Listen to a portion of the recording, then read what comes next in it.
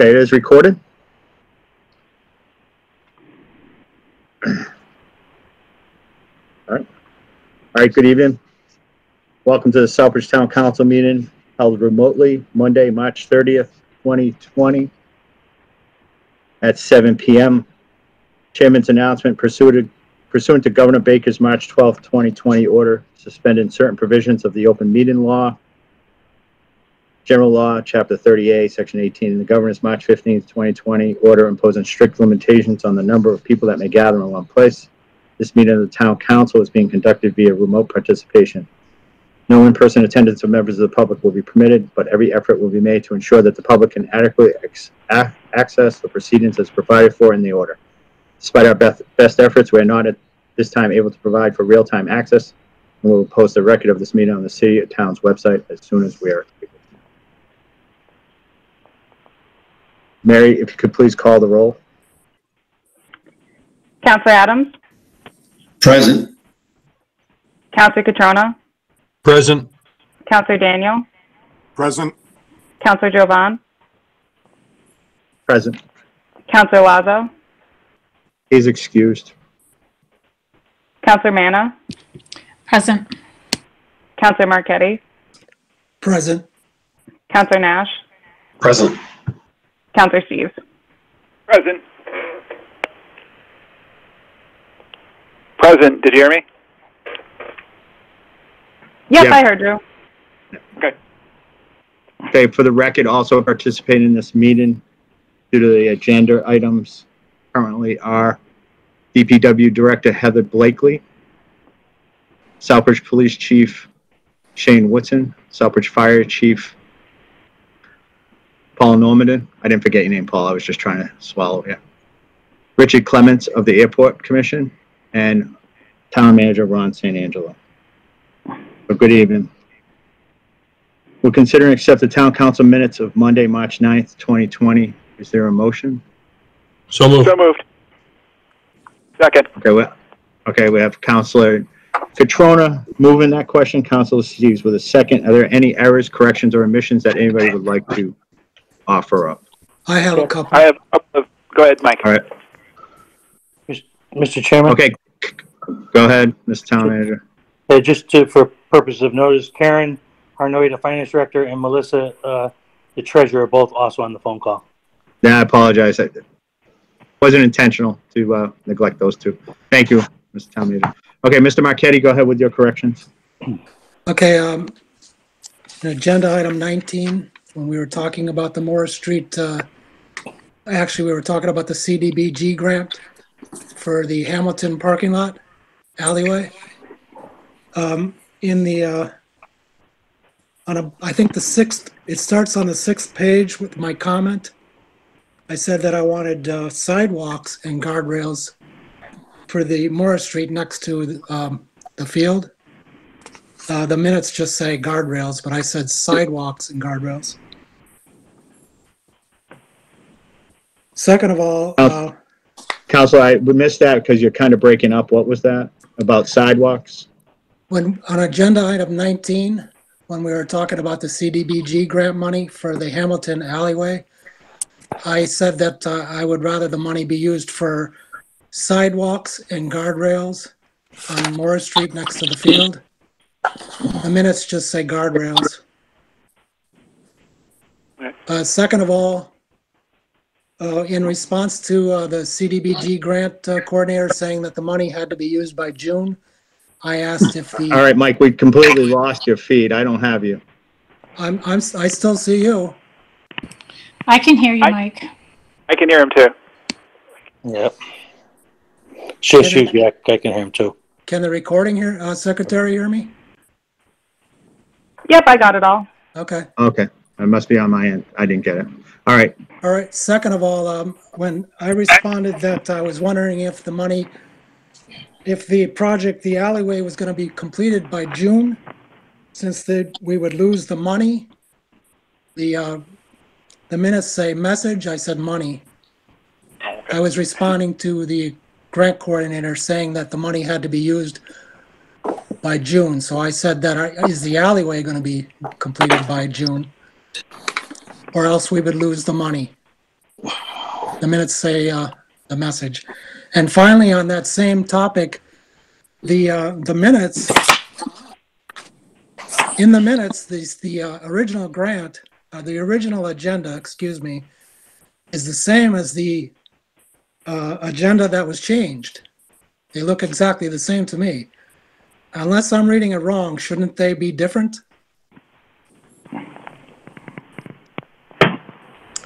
That's a question. I mean, I'm not sure what you mean. The agenda 19 reads the same as uh, the motion, uh, the motion that was uh, re- reconsidered. They're exactly the same. Oh, okay, I can update that. All right. Thank you.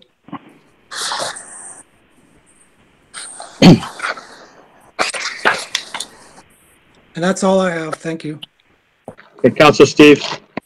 Thank you. Um, I have a couple of things, just mostly minor things. Um, item number six, hydrating should be hydrant.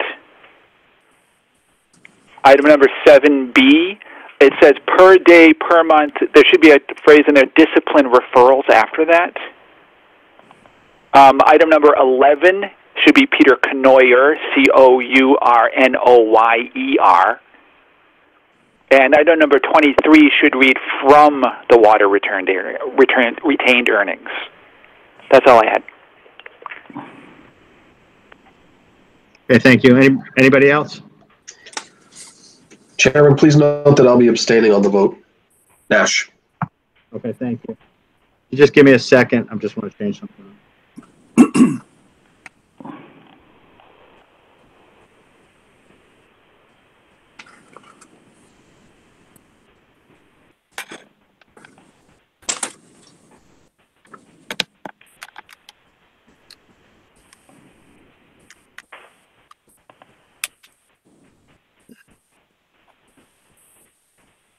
Okay. Any further discussion on that? Hold on.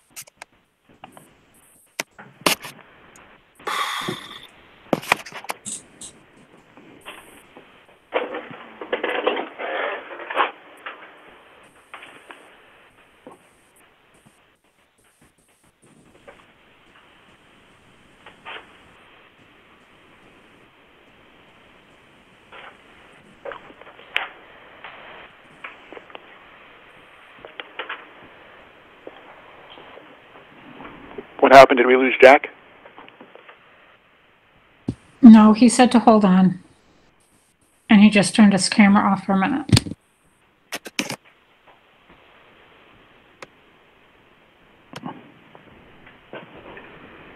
All right. Can you hear me? Yep. I can hear you. Anybody respond so I can see if I can hear? I can hear you, Jack. Can't see you. There you are. Can see you now, Jack.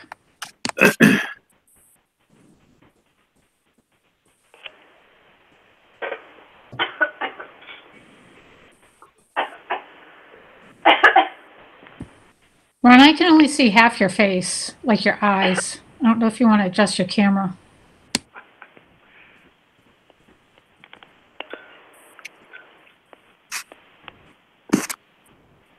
Okay, Council Daniel, if you could just, uh, run, uh, all those in favor, if you could take the roll, please, Mary. Yep. Counselor Adams, Yes. Counselor Catrona, Yes. Counselor Daniel, Yes. Counselor Jovan,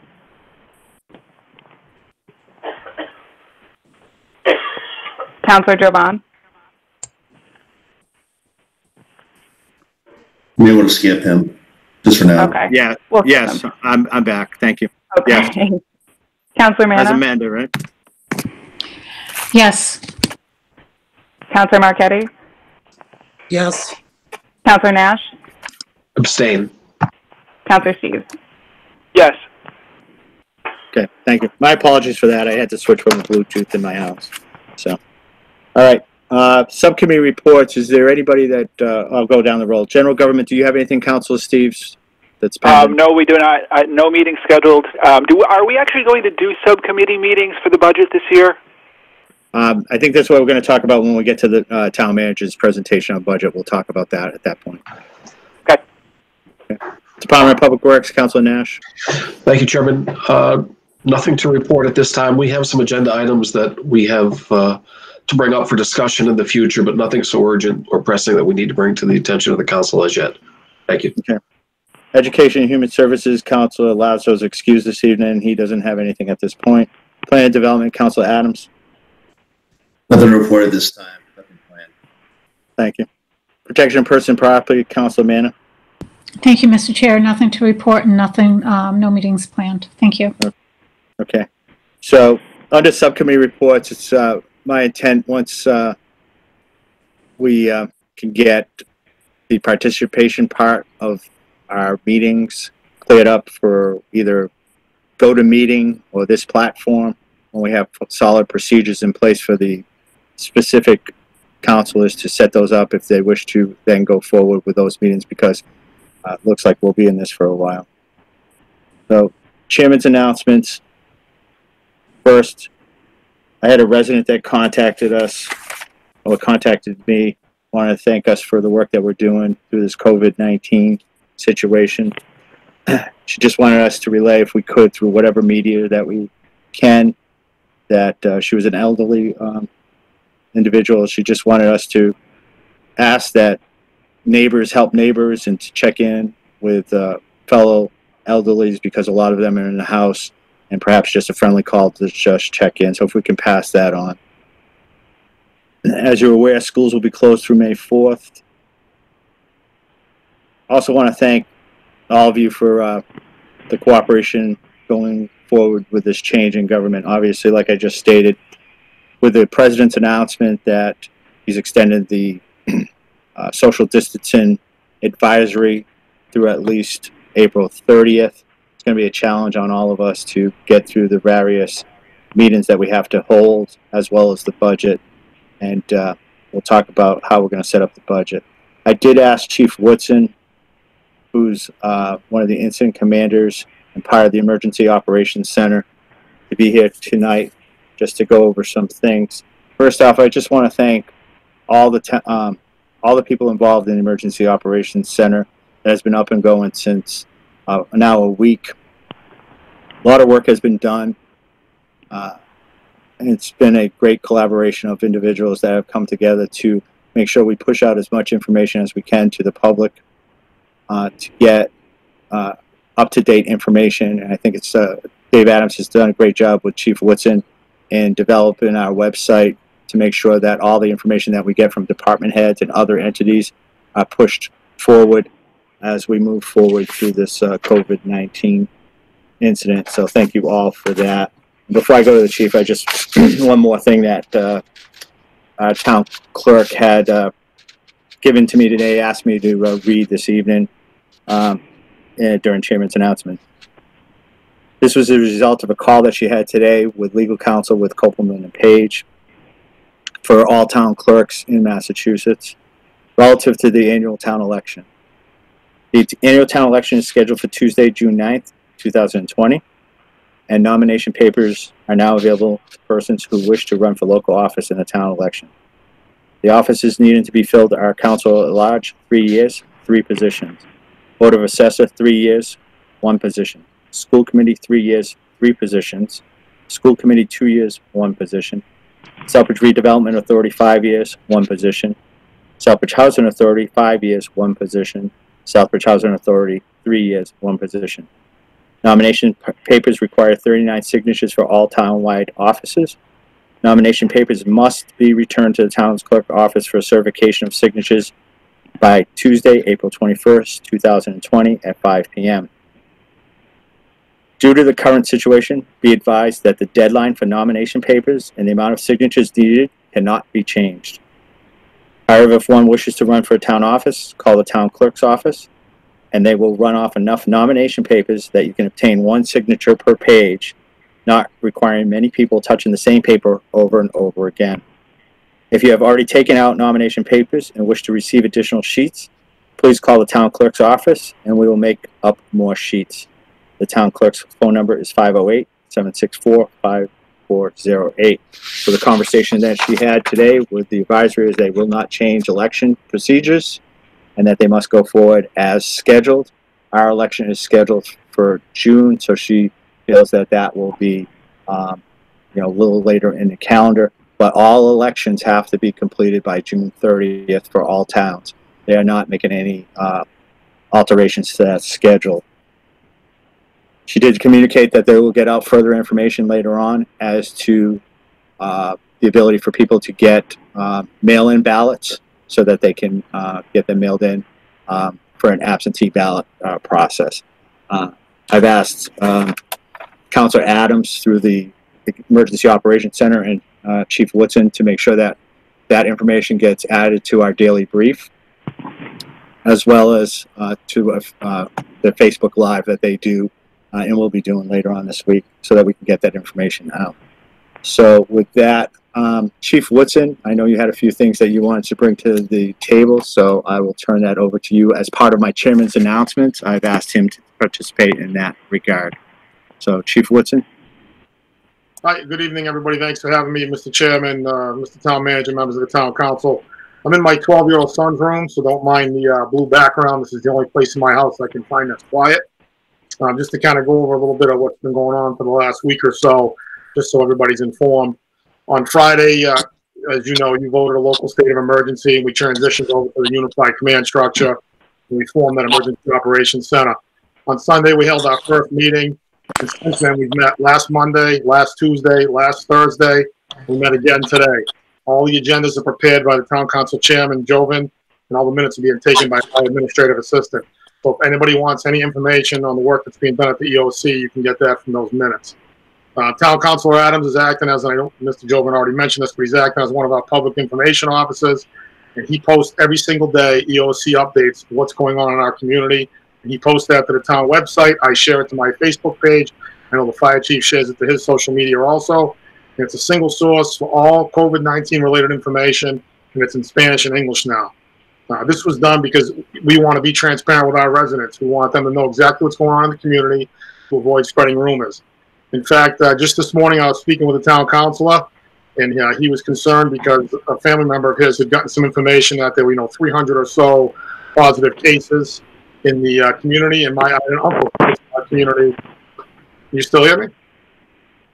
Yes. I'm sorry. It's like, and I had, I had a family member, my uncle had called me. He lives in Southbridge, and he was also concerned. He said he heard this, a similar rumor where there was a couple hundred uh, positive cases. Um, which brings me to this. So as of today, we have five confirmed cases.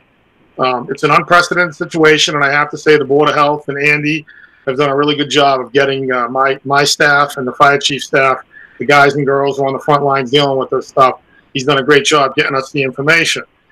Um, there was some discussion today. The Department of Public Health they put out a recommendation to not share information locally as far as specific numbers, and what they basically suggested was just say Worcester County, and I'll, you know, just I'll make up a number, uh, 200 cases in Worcester County, rather than singling out individual communities. The members at the EOC had, had spoke at length about this, and all of us were in agreement that this was not a good idea. It's only a recommendation from the Department of Public Health. It's not an order. It's not a requirement. So we're going to keep posting actual numbers in Southbridge so there's no, um, you know, widespread panic for no reason. There's no misinformation. So people aren't clicking, you know, Google and searching the wrong site and getting the wrong information and then relaying that to, you know, friends and family and causing panic. So until we're told by the DPH to not do this, um, we're going to keep going forward with sharing that information with the community because I think we need to be transparent. Um, Town Adams and I had our first Facebook Live last Tuesday, and we plan on doing this from here on out every Thursday at 2 o'clock. We have a little over 5,000 views as of today, so in my opinion, it was very successful. Um, we're going to do that starting Thursday in Spanish and English. Um, it's going to be interactive with the public because, I mean, after all, the purpose of our social media page at the police department is to interact with the public. So we're going to continue to do that. We're going to ask questions. We're going to be open. We're going to be transparent. If somebody has a reasonable question or request, we will take care of it. And just real quick, as far as the PD operations at my place, um, just so the council's aware, we now screen all of our police officers when they arrive on duty The school's been great. They've gotten us the necessary equipment to do this uh, from their nurses' offices that aren't being used right now. When they come on duty, we check them. When they leave, we check them. And you know, this is just so we can identify any potential issues and symptoms early on. We have to be hyper vigilant with this. I absolutely cannot afford to have a police officer infected, and although it may happen, we're taking every precaution available to prevent that from happening, which is why we're testing at the beginning and the end of every shift. Our dispatchers continue to ask non-invasive questions, and, and quite honestly, we've had no issues in the community that I know of. No one's complained. No one's brought it to my attention. I know the town manager hasn't mentioned it to me as far as complaints or concerns. It's just being hyper vigilant. Our dispatchers are asking simple questions. Have you traveled out of the country? Have you had a fever? Have you had a prolonged sore throat? Those type of things. Because that will address or kind of dictate how we deal with a call. Can we do it over the phone? Do they have to come out to the street corner to meet us and things like that? Um, and on the last note, the schools, that number is rising every day. I believe town council, uh, the chairman might have better information than me, but it's over 600 now. Meals being served to our children, and our police department is involved in that. We're monitoring those sites, making sure everything's kind of going the way it needs to go, and there's been no issues, and, and we will absolutely uh, continue that for as long as we possibly can. So that, Mr. Chair, I have a question, if I may, Mr. Chair. Yeah, go ahead, Council. I, I kind of added this too, so that we could have information, a little unusual the way we're doing it, but go ahead, Councilman, that's fine, absolutely. Okay, thank you, Mr. Chair. Through you to Chief Woodson. Um, how are you dealing with the crowds when they form on the street and they just start hanging around and they talk with each other? I was driving through town, um, I believe it was Sunday morning, and I saw, um, I don't know, probably about eight or 10 people on one corner just talking with each other and hanging out. How are you, um, when you, it- do you come across a lot of that? Or, and, and if you do, how do you deal with that? through you, Mr. Chair, and if I can, Council Mayor, we have been coming across a lot of that, and we disperse the people. Um, I will, I'm not gonna lie, it's very difficult to enforce that at this point in time. As this thing progresses, if it gets worse, there may have to be some other action that's taken, but right now, we absolutely do not want to get into a, a confrontational situation where we're arresting people. Our courts aren't open. No one can tell me when the courts are opening again. They give us soft dates, but we have no mechanism in place right now to, to to even arrest people for those offenses. That may change, but as of right now, people are they comply. You know, they're gathering and doing things they probably shouldn't be doing in this type of situation. But when we ask them to move on, they move along. So that's we're just kind of taking it case by case right now. Thank you. Thank you. Um, thank you, Chief. Um, Good job. I- Thank Yeah. you. I, I, I just want to say, um, one thing, uh, additionally, after the chief's presentation here. We should be very proud of all the hard work that our department heads have been putting in as we address this, uh, COVID-19 situation. Again, it's unprecedented. And the difficulty is, and I've said this in our meetings, that when you have an incident such as a earthquake or tornado or anything like that, you have a lot of, you know what's in front of you. You have specific tasks that you have to uh, accomplish. You know you have to open a road, you have to cut down trees and all that. And this is, uh, as has been said, an invisible moving target that nobody knows where it's going to pop up. So we should be very proud of all the hard work that all our departments are doing as they cooperatively work. Um, and let's keep all our employees, um, our first responders and uh, police, fire, DPW who are out in the streets still working as well as uh, town hall, all in our thoughts so that uh, they stay safe um, as we move forward. So with that, I'll turn this over to Mr. Town Manager. Uh, thank you, Mr. Chairman, and I guess I'm going to start off echoing your words. Uh, thank you for uh, showing your appreciation to all the teammates out there that are working their tails off, and there's a tremendous amount of anxiety all throughout the different departments as this is occurring, and uh, decisions are made and then changed. There's just so much fluidity to this, and as we get more information, we we have to change what we're doing uh, to meet whatever the information that came in is, and uh, it's been very, very stressful, and I appreciate uh, what all the employees are going through. Uh, one of the things that's happening a lot, there's a tremendous amount of communication among town managers and town administrators. We communicate mostly all through email on a regular basis to find out what each other is doing and what is the status of their employees and in different situations that are occurring and how they're handling it. So I appreciate the, the managers all across the area that are, are giving us information going back and forth. I sent out to town council a tremendous amount of information prior to the EOC opening on things that have been done uh, what DPW is, is dividing up their crews and changing the hours a little bit. And we got one guy per truck. Town hall, I've got about 16 employees who can work at home, who have the ability to work at home, are all set up. And mo most of all their computers are set up to the town hall computer computers. Uh, there's one or two that just don't need that, but otherwise they are connected. Uh, employees are all working uh, and they're getting paid because they are working. And as things progress, we'll, we'll have to look at that issue going forward, but I'm not exactly sure. You know, if this is a two week event, it'll be one thing, but if this turns out to be a two or three month event, we're going to have to clearly look at things differently. So, uh, I think so far everything is going pretty well. Uh, we have not heard any complaints from residents. Our biggest concern right now is the revenue coming into the town for the fourth quarter. Obviously, it's a lot more difficult. People are losing their jobs. Uh, payments aren't coming. There's no hotel tax, no meals taxes. Uh, people are not out buying new cars. And you can understand that that's going to have a negative uh, impact on our current budget and also on our future budget. And we're going to talk more about that when we get into the budget presentation. Uh, that's all I have in terms of uh, my announcements, Mr. Chairman. And I'll start whenever you like on the budget presentation. Okay, thank you. Um, any, um, okay, yeah, we'll go through town manager's FY 2021 budget presentation. Um, before uh, the town manager starts, just to, to let you know, the way I had anticipated this meeting going was the town manager to do a brief presentation of the budget, uh, to make sure that we adhere to the charter requirements of the budget being presented by March 31st. Uh, and then as we move forward, get into a more detailed meeting when we can do a actual public presentation and have the ability for any public to be able to respond to any questions and all that. Um, look forward to the presentation as we move forward. Uh, and with that, I'll turn that over to town manager. Town Uh, manager. thank, thank you, Mr. Chairman. I'm going to go through this rather quickly. I do want to point out, though, obviously this budget was created before the impact of the coronavirus. So I have a feeling that we're all going to be working to make some adjustments as a reflection of the revenues we lose, not knowing what kind of state revenue we're going to get.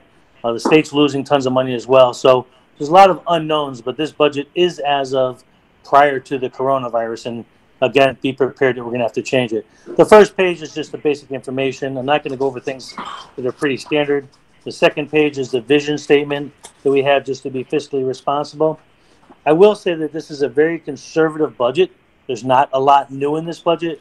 Uh, a lot of things that I would have liked to do, uh, we just simply can't do because of uh, the amount of uh, increased costs in a number of areas. The goals and objectives, the third page. Uh, obviously, I'm still trying to increase the road improvement fund.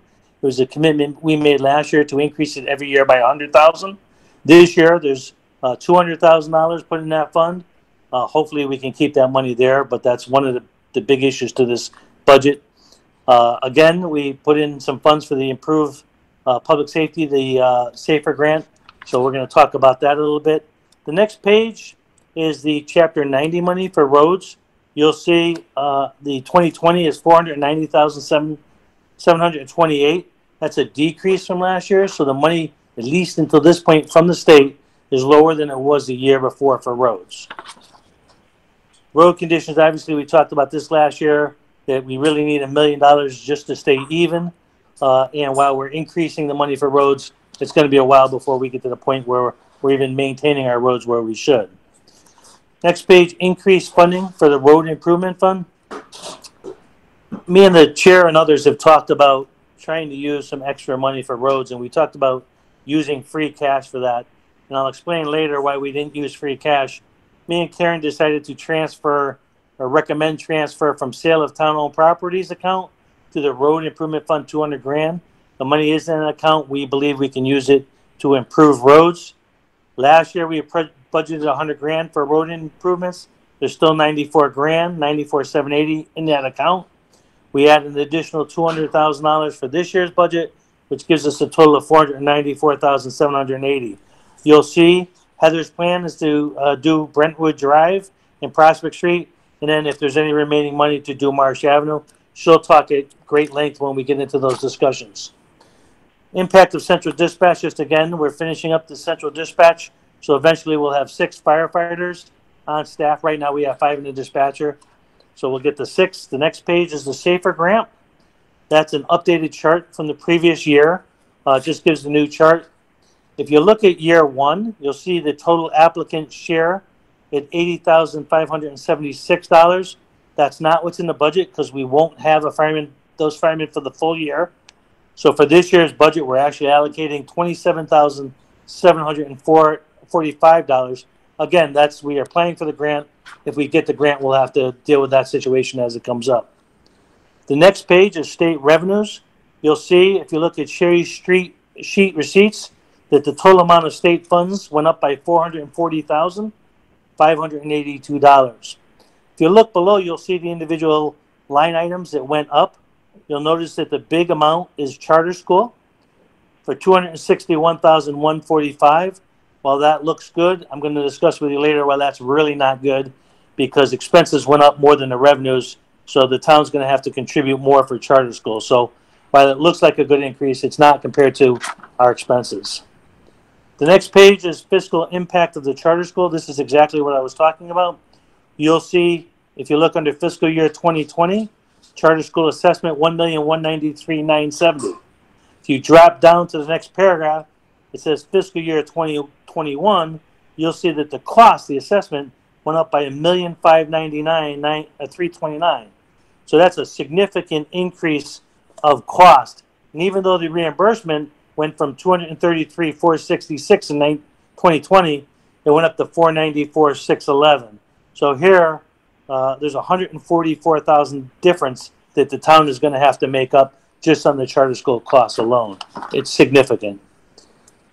Chapter 70 funding, the next page, uh, you'll see uh, in the difference between 19 and 20. We had a great year. The state gave us an additional one million seven hundred and thirty-two five hundred and thirteen dollars.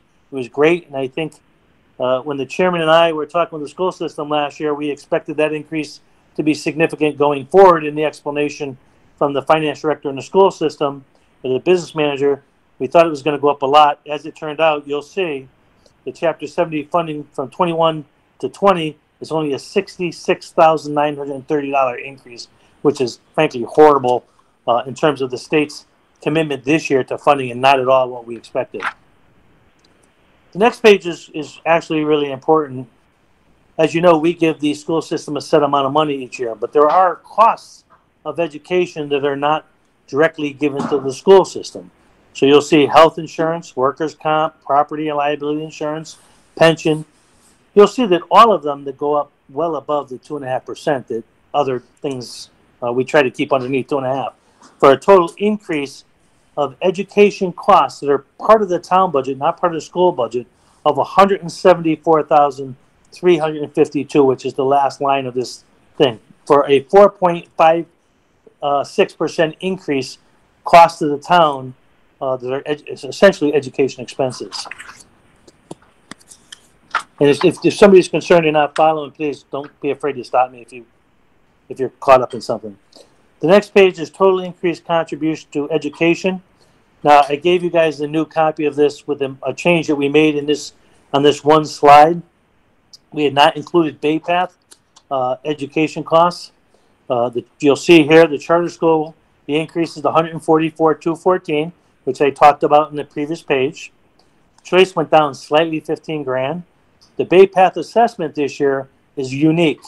It went up by 172,638, which is way more than normal. That's an additional 27 students uh, that are going to Bay Path, and that's a significant increase for us. The next line, additional local tax dollars, 218,075. That's what I'm recommending. It's a 1% increase uh, to the school budget. Uh, the school budget is asking Excuse me, lot. can I say something? Yep. So on the additional local tax dollars, you said two eighteen oh seventy-five. On the new sheet, Oh, it's okay. two eighteen oh seventy. Yeah, two, 218,070 is the number. Okay, Okay. you said seventy-five. Thank you. I'm, I'm sorry, I apologize. I think I just read it too fast, but two eighteen oh seventy is the additional local tax dollars. That's what I'm recommending for the school budget. Again, it, it's only a one percent increase, and we'll talk about that later as well. So the total direct local contribution is five hundred and nineteen, seven hundred and four dollars. If you go to the next column, and you add the state contribution of sixty-six, nine thirty, you go to the bottom of the second column, the total state and local funding increase is five hundred and eighty-six thousand six thirty-four. Now, if you go, if you take the total town funding, the six hundred ninety-four oh fifty-six, and you add that to the sixty-six thousand of state funding, the increase to the total school budget is two point four four percent. Now, the schools aren't gonna look at that way because that's the town's total education funding, not just money we give directly to the Southbridge School District. Now, to keep in mind here, my understanding is the school district lost about hundred students. So, you know, those students, those, for instance, those twenty-seven students that were in the school system, go to Bay Path, the money gets shifted with them, uh, to Bay Path. So that's a, a significant issue. Um, so you'll see the total state and town funding increase for education is seven hundred and we're gonna talk a lot about that when we actually have the budget subcommittee meetings. The next page is town council school district funding option. You remember last year, I gave you multiple options for funding the school district. Doing the same thing. Last year I gave you three, this year I'm only giving two. The town manager proposed the dollar increase is two hundred and eighty-five thousand. Uh, so the school budget that I'm proposing is twenty-eight million, seven forty-four, two forty-three. Uh, after new growth, the tax increase would be two point nine eight percent. So you know, in past years, I've always talked about trying to keep it to two point five percent. Uh, This does not do that, and there's a variety of reasons for that. Most of which is the school budgets is the big issue. But the next section, the next column, or next uh, horizontal line, is uh, a two percent increase to the school budget. So increasing it to five, giving them five hundred seventy thousand dollars, and look what it does to the tax rate after new growth. It changes it to four point two seven percent. So you can see the impact on education would be under those various options. Very difficult to give them more money uh, based upon what it would do to the tax rate. The next page, fiscal year 2021, the tax levy and impact. This is what the town manager recommended, recommended, which is if you look, you'll see uh, the change at the town manager projected levy is 23,198,336. Just subtract the tax levy from 2020, the 21,935, and you get an increase of tax levy of a million two sixty-two nine ninety-three, which is a 5.76 increase. Now, if you reduce new growth, the 610 311, you're going to come down to that 2.98% tax increase I was talking about. Now, that 610 of new growth is significantly higher than we ever had in the past. You will remember that we have the new solar fields coming on board this year, uh, the Mealink uh, solar fields. So that significantly increased our new growth for this year. That why that's why that number is so high. You'll also remember that I said, "Hey, we're not going to spend this money because we're going to need it to pay for OPEB costs." You're going to find in this budget that even with that 2.98 percent increase, there's no money in this operating budget for OPEB, and we'll explain why as we go along. Next is the town budget projection model uh, for revenues. You'll see a little ways down the Cherry Sheet receipts. We talked about that. 440,582 or a 1.62% increase. Um, I'm not going to get into the millennium. We could talk about that more in detail when we get it, but there's a uh, 125%, $125,000 reduction relating to millennium, but there's an addition, a debt service of 220. So we'll, we'll get more into detail about that in the committee meetings. It's just a way that we have to um, account for that. The next page is the town budget projection model expenses. Now you're going to see uh, the big thing, charter school assessment under expenses, the third section down, and that's four hundred and five thousand dollars, a thirty-three point nine five percent increase. That's significant. Uh, the general operating budget goes up three point four eight percent. I'll explain to you that, but really the reason for that is hundred thousand dollars in road money that we put in. That's why it's going up over the two and a half. Most of it's just the road money. Um, OPEB, you'll see no money's going in OPEB. Uh, we're going to put a little bit in from free cash, but that's something we're going to have to talk about with the Casella money, like we've done in the past, because there just simply isn't any money to put in in this budget. You go down to retirement, you'll see a big increase in the retirement costs, two hundred and forty-eight thousand nine eighty-nine. That's a huge budget number, six point eight seven percent. That's a requirement uh, by uh, state government in how we bring up our retirement and slowly get rid of unfunded liability. Uh, nothing we can do about that number. The Southbridge Public Schools at the very bottom of the line, you'll see the two hundred and eighty-five thousand dollar increase there as well. Um, I'm gonna go to the general operating budget, fiscal year twenty twenty general operating budget. You'll see about a little more than half what's called special articles. That is the road money, the hundred thousand dollars in road money. That that's why it went up by fifty-five percent. The other one that went up by a higher percentage is elections. It's small dollars, but the reason it went up, obviously, we have an additional election, so that number went up significantly. Down a little bit lower towards the end, you'll see the restructuring of the Veterans Community Services.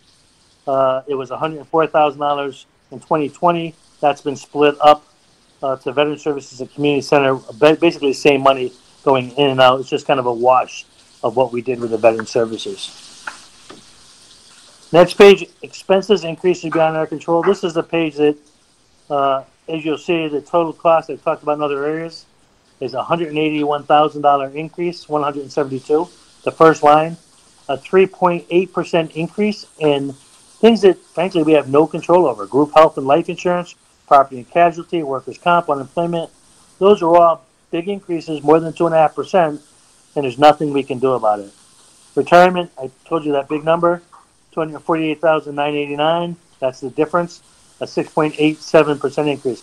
The only good news here is that debt service went down by sixty-five thousand. But other than that, it's all bad news in terms of our costs.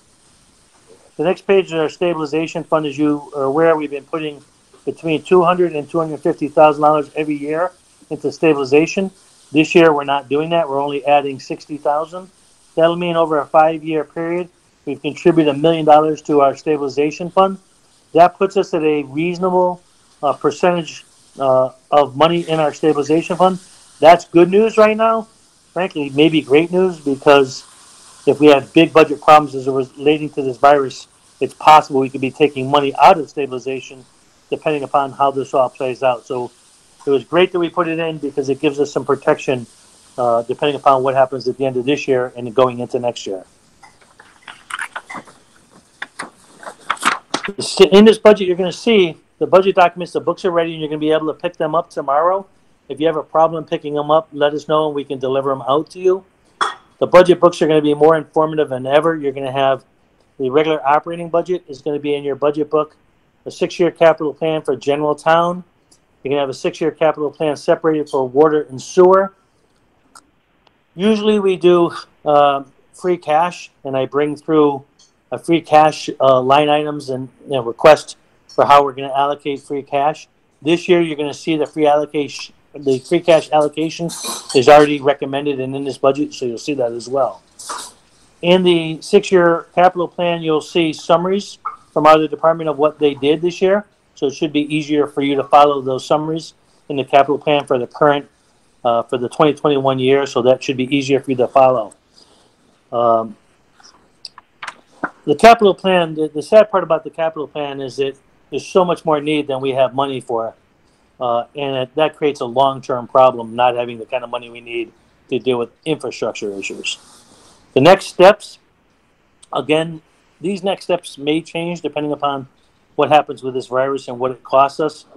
But uh, the big thing here uh, that I recommended, I think many of you thought, and I did too, that I would be recommending a DPW facilities management director to start looking at the long-term future of all the town buildings, both the town side of government and the school side of government, because the buildings keep deteriorating, and at some point we're going to have to borrow a significant amount of money to do those projects, and we don't have a staff person to handle that. Me and Heather have had a lot of discussions about that, but because this budget uh, is very conservative and costs that were out of our control, I am not recommending or putting any money in this year's budget for that in spite of the fact that I think it's something that we seriously, seriously have to look at. The next number of pages are just an explanation of why I believe that we need a facilities manager. Uh, again, if council feels this worthwhile, we can look at the budget and see if we can find funds for it. But over the long term, there's a lot of infrastructure issues that I think we need to deal with. Uh, so that is all there for your information, and, and as we go through subcommittees, um, we can discuss that issue.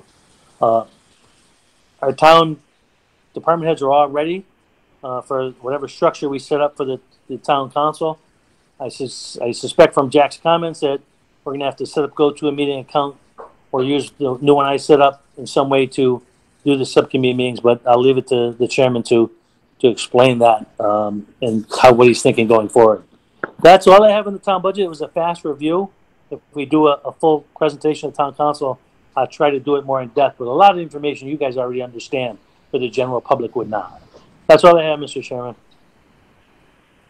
Thank you. Any questions?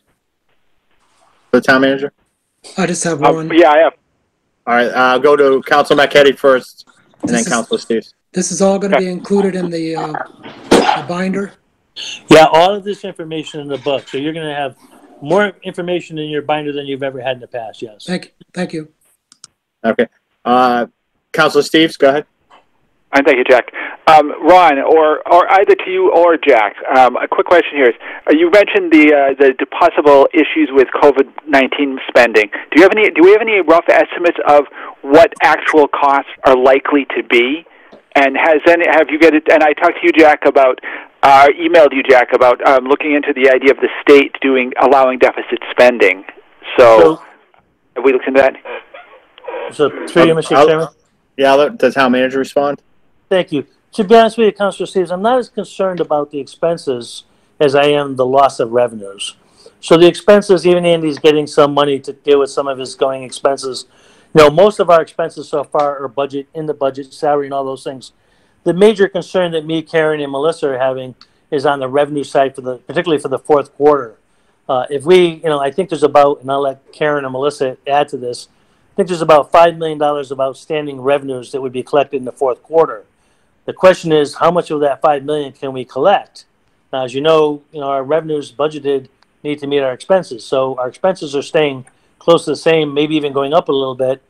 And if the revenues fall off, let's say we only collect, I don't know, three and a half of the five, we're short a million and a half dollars. So that's the big fear, Councilor Steves, is that revenue number um, and how that impacts us. We put in a spending freeze where all department heads, any expense over five hundred dollars on the town side have to be me approved by me and Karen. But frankly, I don't think we only got one quarter left, and there's a lot of things that we have to spend contractually. So I don't think there's going to be real big savings out of that. We're trying to save everything we can, but the the revenues are extremely concerning to us. And so far, the state government has not said that they are going to make up some of those lost revenues. So that's the the major area of concern. Um, thanks. Um, yeah, I was going to ask about state revenues issues, the state thing too. So thanks. Yeah, yeah, and Gus, I, I think, uh, too, on, uh, on your thing about spending, really, right now, we've really instituted through the Emergency Operations Center, uh, Karen is part of that center to manage finance for us through the Incident Command Center, so it's really keeping track of what the expenses will be, keeping a good eye on it. Um, and the chiefs have been doing a really good job of, uh, managing their departments right now. And I think, uh, as we move forward, really gonna have to have a conversation with the school department as to what savings they may realize you know, obviously with no uh, students going to school, you know, they may have some money through busing that they're not ch- uh, spending busing and like that. But that's probably conversations that we'll have later on. M- Mr. Chairman. Yep, Mr. Town Manager. Yeah, just to let you know, myself and Karen and Melissa had a conversation uh, with the uh, receiver because we wanted them to institute the same same five hundred dollar spending uh, restrictions that we did on the town side. We were pretty much told that the state has recommended to them that they continue spending as they would, and he's advised us that they're going to have increased spending. Uh, but the state is recommending to continue to spend their money, and they are not essentially going to participate in our $500 limit. They are going to look for savings wherever they can. The busing issue itself is they're not busing students. But we had raised that as an issue in the meeting, uh, and it was expressed to us that there has to be a busing company to go to uh, when school starts, and they're afraid that if the busing company isn't paid, there may not be a busing company to go to. So we had a, a we raised a lot of those issues with the school receiver. Um, I think he answered them honestly, but I'm not sure we were excited about the information that we heard. I'm sure we'll have further discussion. Does anybody else have any questions to Ron specifically on this presentation that he, he put out? Um, I do have one quick one too, Jack. Um, Okay. regarding uh, as far as funding goes, um, how much money do we have left in snow and ice, and could we use that for some of these issues? Well, I'm sure there is some money in snow and ice. I'll, I'll leave that. I don't know if Karen has that number right in front of her, Counselor Steves. Uh, Heather's on the line too. She may know off the top of her head. So if the chairman would allow Heather to address that, I think she could give us the best guess. Well, I think uh, what we'll do is put- maybe put that question to and have a budget update uh, sent out to us on, uh, you know, the uh, budget uh, status report of uh, through Munis or uh, KBS, whichever one we're doing, and then we can bring those questions up at the next meeting and see where we're going to realize that. So I want to leave this specific to this year's, next year's budget going forward. Okay, if if you may, Council Steves, that's okay with you? Yeah, that's okay. Thanks. Okay, Council Manna. Thank you, Mr. Chair. Through you, just a question. Um, because he just read the budget papers and wasn't presenting on, um, this video remote call, um, will this be put up on the website? Are we going to have a formal budget presentation, um, a special town council meeting or anything, um, for the public so they can have a better idea of what he's talking about? Um, yeah, absolutely. I'd like to, uh, you know, do that at another meeting when we could get, uh, perhaps that scanned in and we can go through the, the presentation, uh, and, and so that the public knows that this was really for us to make sure we, uh, adhere to the charter requirements of March 31st, but definitely more conversation. So I would ask, uh, counselors, uh, right now, is, is a preference to try to go through a subcommittee review level or have uh, numerous special town council meetings to, to tackle each specific like department as opposed to having um, uh, the specific uh, subcommittees and just have uh, set up a, a, a variety of special council meetings uh, for that. Uh, individual budgets, not to as we do the review. So, Council Manager, do you have any questions on that? Um, is it, requ- it's not required that we go through subcommittee with the budgets, right? It's just recommended for subcommittee to be vetted out. So I think maybe to make it easier, I think maybe we should have special town council meetings. Um, Yeah. and there is, um, like, when we're talking about the budget, if, if we have that PowerPoint or those, that PDF, we can present it and still talk and people can still hear and they can see what we're talking about. So. Yeah, to- and, no, I, and I think that's, we always, uh, schedule the meetings as a joint, uh, subcommittee and full council meetings, so that, that's, my thought was, let's take specific chunks, uh, at special town council meetings, unless anybody's opposed to that. I'm not opposed to it. Anybody else? No, I'm okay with that too.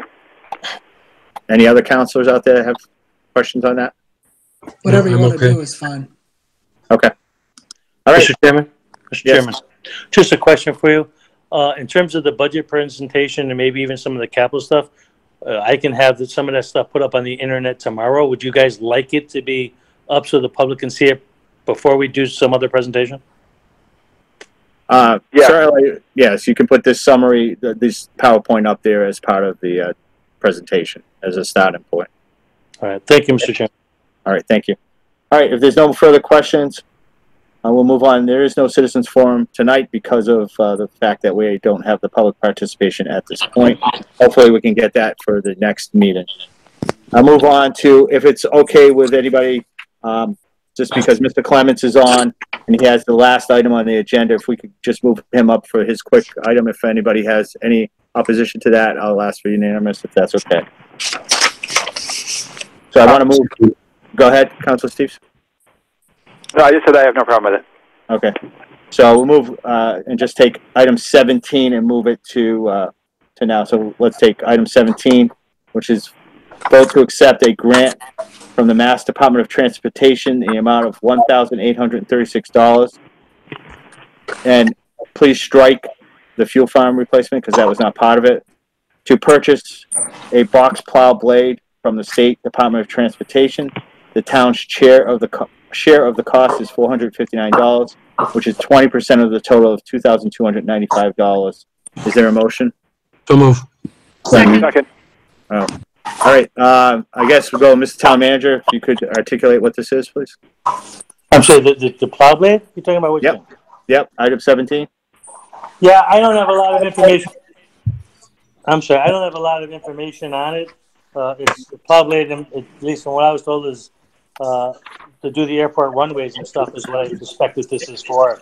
It, it, it's kind of speaks for itself.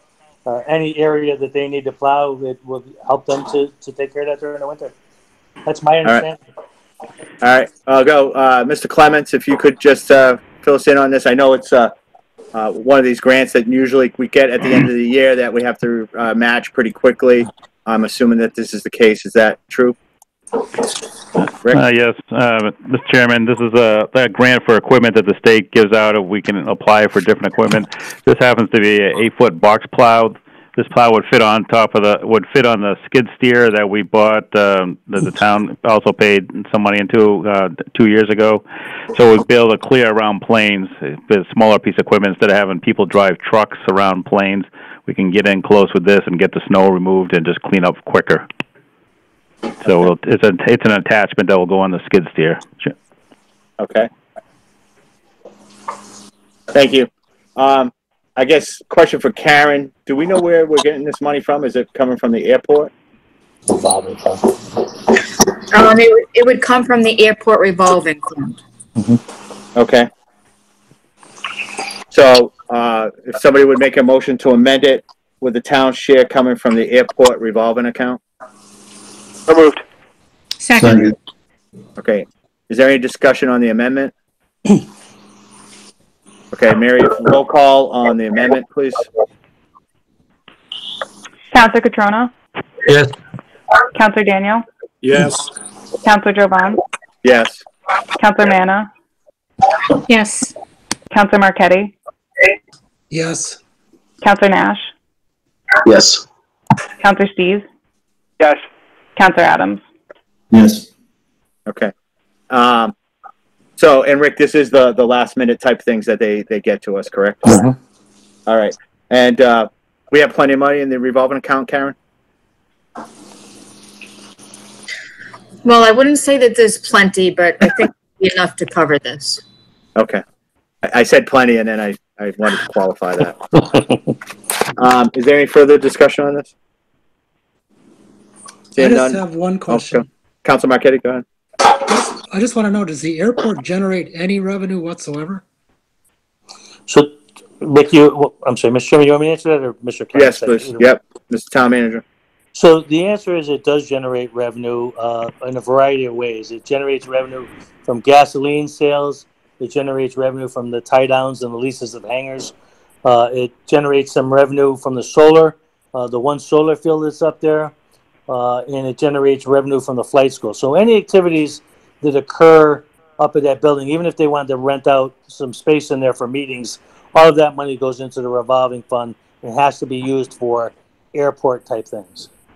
So Thank yes. you. Thank you. Anything further? No, that's it. Thank you. Okay. Thank you. Any other councilors? All right, hearing none. Um, roll call that, um, as amended.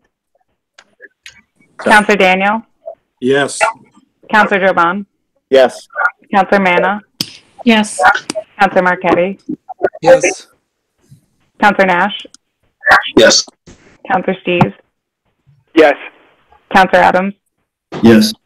Counselor Catrona? Yes. Okay, motion, motion carries. Moving on. Thank you, Rick. If you want to hang out, Thank you you. can. If not, you can leave. Thank you. Thank you all. Have a good night. All right. Hey, Rick.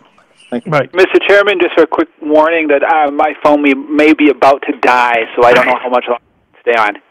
All right, we'll try to keep it, we'll go, try to go through this pretty quick then. Um, item nine, vote to approve a transfer of fifty-one thousand, one hundred and twenty dollars and twelve cents from project number six-three-seven-nine-zero wastewater treatment plant lighting, lightning protection upgrades. The project number six-three-six-four-zero wastewater treatment plant electrical upgrades generator to cover appropriated costs not previously funded. Is under the Department of Public Works. Is there a motion? So moved. second, Second. Mr. Town Manager? Mr. Chairman, I'm going to refer to Heather Blakely, our DPW director, for the next couple of items.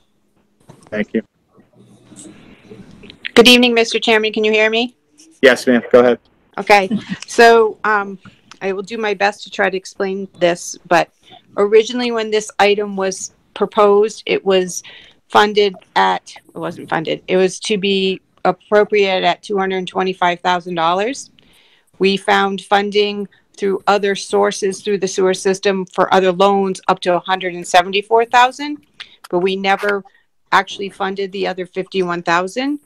So we are proposing to use uh, money from the lightning protection upgrades that we have not used all the funds out of that item that was funded out of um, retained earnings and use that fifty-one thousand to fund the uh, fifty-one thousand one twenty twelve because of some, um, the funny number is to cover some cost for advertising. And that will fund that appropriation for that project completely. We have already um, voted on, if we hadn't fund this money, we would have to actually take out a loan. And this is so we won't have to take out any loan money. So we, lightning protections was already fully funded. We're not going to use all of that money. The money is available. The lightning money was actually wrapped into our bigger project when we bid out all the electrical upgrades and is incorporated into that loan. Any questions? Yeah, Mr. Chair, Council Adams. Go ahead, go ahead, Council Adams. I may have missed this. Is there, is there any money left over in that uh, lightning protection upgrades, um, if, after this uh, fifty-one thousand dollars, if it's approved? There is, there's about another, I don't have the exact amount, um, it's about another twenty-three thousand, um, which I want to leave in there until that other, until the whole project is done. It's kind of now acting almost as contingency money for that construction project. Okay, thank you. Anyone else? Okay, seeing none, roll call, Madam Sec- uh, Clerk? Counselor Jovan, Yes. Counselor Manna, Yes. Counselor Marquetti, Yes. Counselor Nash, Yes. Counselor Steve? Yes. Counselor Adams, Yes. Counselor Catrona, Yes. Counselor Daniel. Yes. Your motion carries, thank you. Item ten, vote to approve a transfer of twenty-three thousand, two hundred ninety-seven dollars and seventy-four cents to account number six zero zero four four zero dot five two zero three zero zero collection systems in the amount of eleven thousand, four hundred twenty dollars from account number six zero zero four four zero five five zero four zero zero compost amendment and eleven thousand eight hundred and seventy-seven dollars and seventy-four cents from account number six zero zero four four zero five five zero one zero zero chemicals. Transfer available funds in the sewer budget that are no longer needed due to a new contracted collection system, which is almost out of funds as of March, which is the Department of Public Works. Is there a motion? So move. Second. Heather?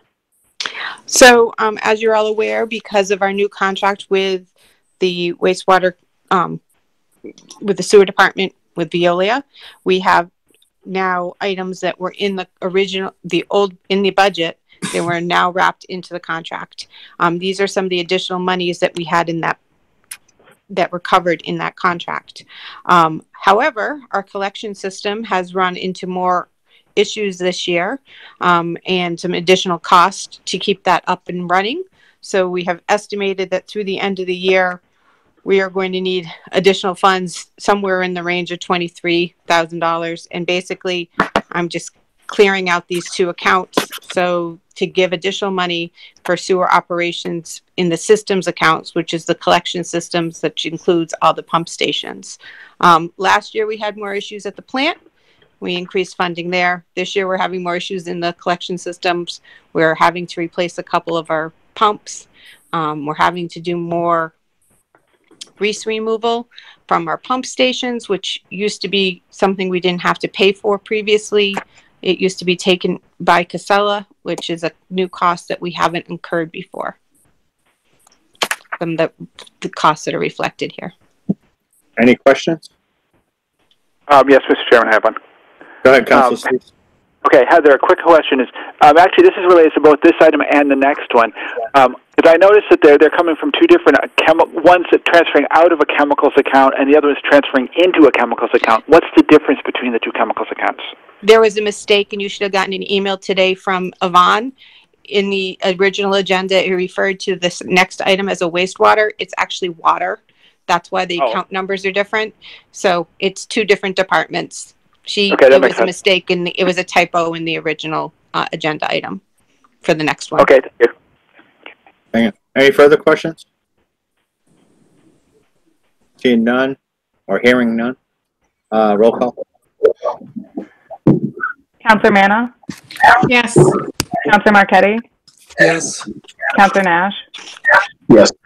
Counselor Steves, Yes. Counselor Adams, Yeah. Counselor Catrona, Yes. Counselor Daniel, Yes. Counselor Jovan. Yes. All set? Yep, that was it. Okay, that was it. Okay, thank you. Motion carries. Thank you. Item eleven, vote to transfer one thousand four hundred ninety-seven dollars and twenty-six cents from account number six one zero four five eight three zero zero zero nine one two five zero to account number six one zero four five zero five five zero one zero zero chemicals to cover cost of the delivered amount of ammonia for the operation of the water treatment plant over the amount budgeted Department of Public Works. Is there a motion? So moved. Second. We have a motion and a second. Heather? Yep, um, this is one of those counts that gets slightly underfunded in previous years. I'm actually addressing it in the next budget and increasing that budget amount. Um, our ammonia costs have just gone up slightly and we actually have a slight issue with them delivering more than we actually order sometimes. Um, but, so that would just to cover what we can, the ammonia cost, um, and our polymer cost in upcoming years, when we redo our water contract similar to our sewer contract, this will be a cost that will be included in it. But at this point, it's a reimbursable cost that we have to pay for whatever the actual cost of the chemicals are. Any question? Mr. Chair, if I could, um, I just Yeah, want to.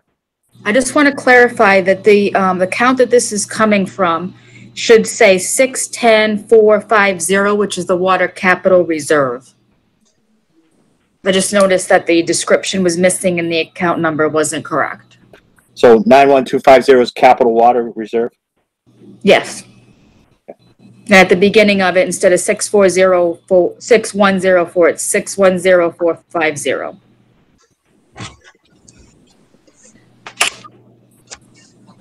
Okay, could you just give me that account number? Vote to transfer account. What's in from, Would be from, from six one zero four five zero. Yep. And then the rest of the numbers are correct, and it's Water Capital Reserve. which is five eight three zero zero zero nine one two five zero? Yes. Yep, it's all the, all the numbers, yep. Okay. All right. Is every, uh, unanimous consent for that change? Yes. Yes. Thank you. Yes. All right, any further questions on that? I just have one. Yes, Council Marquetti? Why are you using ammonia? Ammonia is used for when, for our treatment process for our disinfection. You use ammonia to actually do the disinfection process for chloramines. Thank you.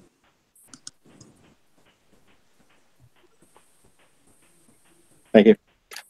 All right, um, again, vote to tr- transfer one thousand four ninety-seven twenty-six from account number six one zero four five zero five eight three zero zero zero nine one two five zero capital reserve, right, to account number six one zero four five zero five five zero one zero zero chemicals. So, Karen, thank you. Uh, I did not check that, uh, see that on, but in the transfer request form, you did have that accurate for that just for the record, it was accurate on the transfer request form, so it just didn't make it over to the agenda. So, all right, um, any further questions? Roll call, Madam Secretary? Counselor Marquetti, No. Counselor Nash, Yes. Counselor Steves, Yes. Counselor Adams, Yes. Counselor Catrona, Yes. Counselor Daniel, Yes. Counselor Jovan, Yes. Counselor Manna. Yes. Motion Okay, carries. Motion carries, thank you. Item twelve, vote to approve a transfer of seven thousand one hundred twenty-nine dollars and forty-six cents from account number zero zero one one three two five seven eight one zero zero Town Council Reserve to account number zero zero one two two zero five two four one zero zero report, repair and maintenance of vehicles for multiple high-cost repairs to several vehicles that were due to unexpected costs. This is a fire department request. Is there a motion? So move. Second. Co- Mr. Town Manager?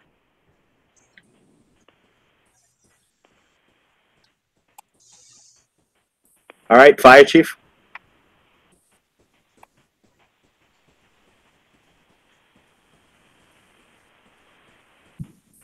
Chief Norman?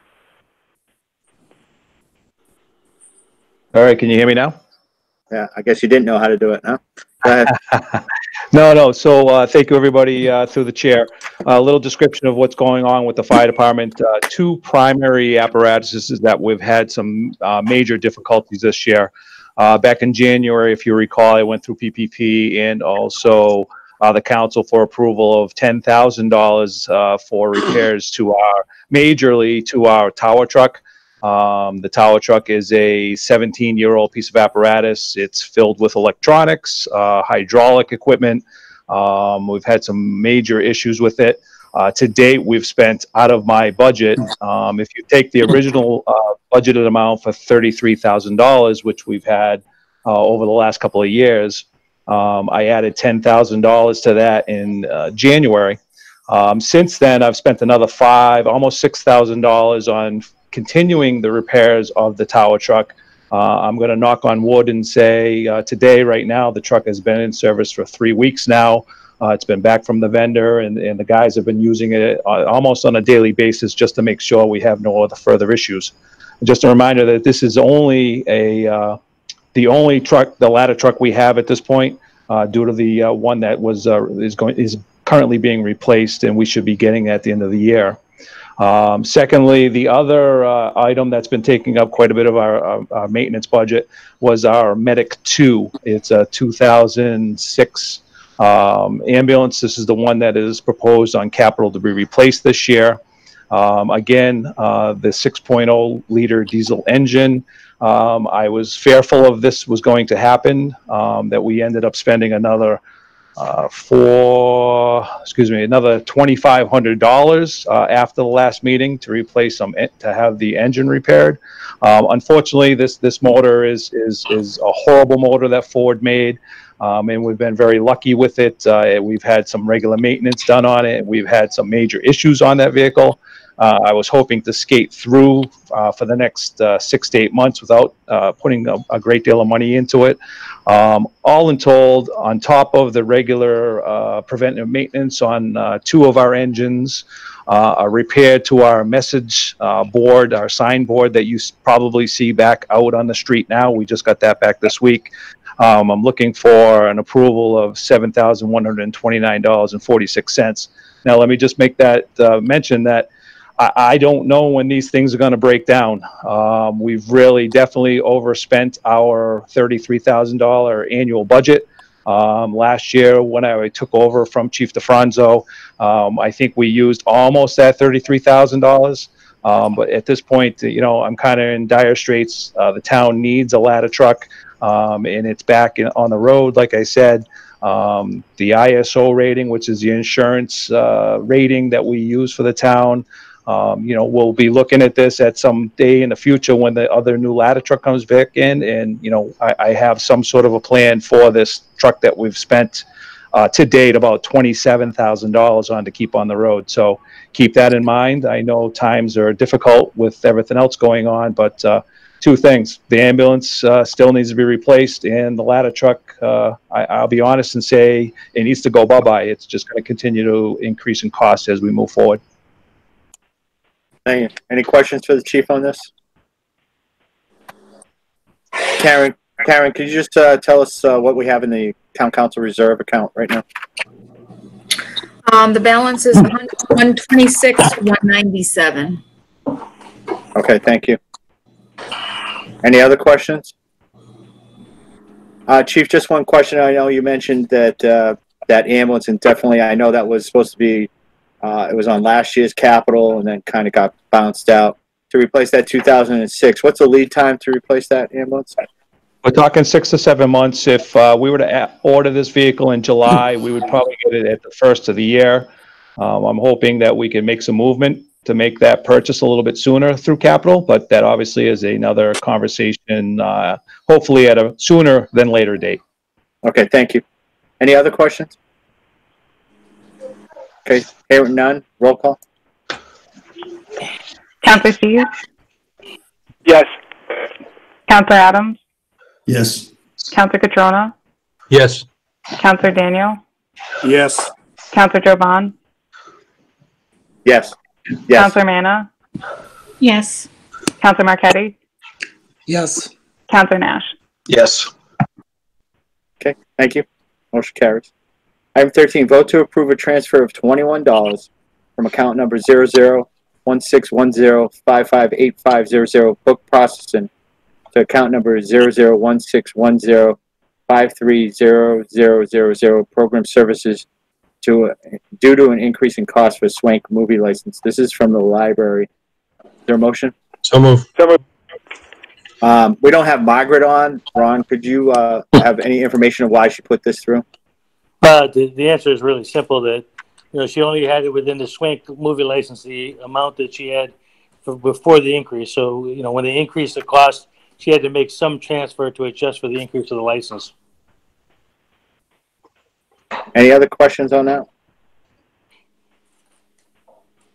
Hearing none, roll call. Counselor Adams? Yes. Counselor Catrona? Yes. Counselor Daniel? Yes. Counselor Jovan? Counselor Jovan? Yes.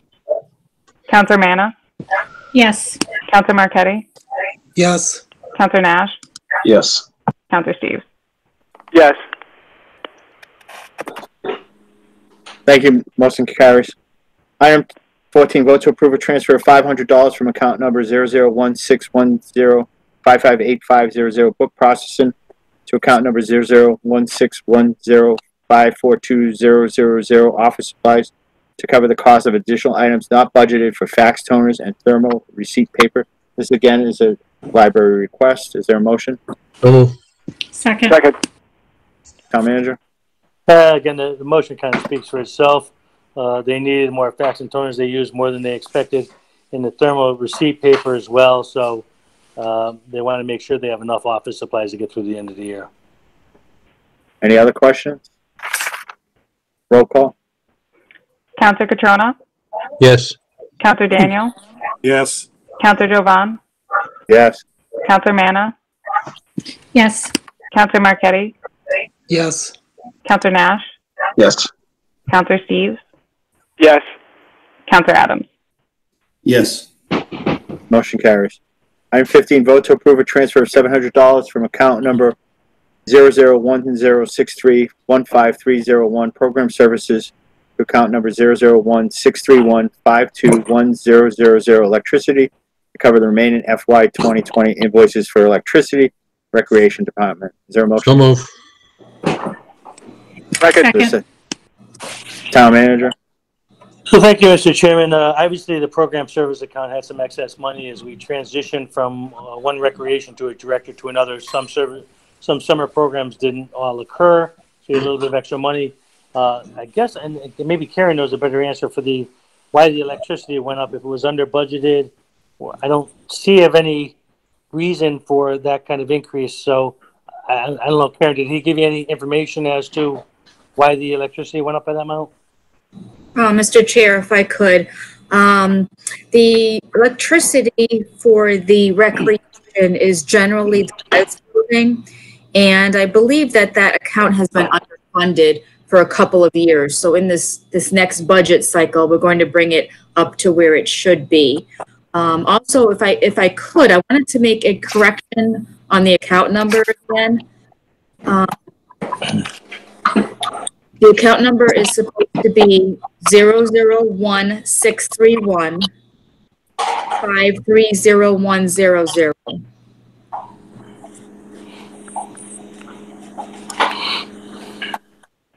Okay, you have that, Mary? Can you read it one more time? Sure. Zero zero one six three one five three zero one zero zero. And the description is correct program services. Got it, thank you. Thank you. I was just looking at the, uh, form you had signed. It had, uh, zero zero one, that's zero six three one. There's no zero there before the six three one. That's fine. Okay, as long as you get it, Karen, that's fine. Is there any further discussion? Um, I have one quick question for Karen. Go ahead. Um, I'm, I'm just curious about how, what, what exactly does the rec, what was the recreation department doing that requires this much electricity? Well, from my understanding, this is the um, res building, and they have to keep it on a um, a minimal heat setting, like say at least at 50, so that the um, the pipes inside the building don't freeze.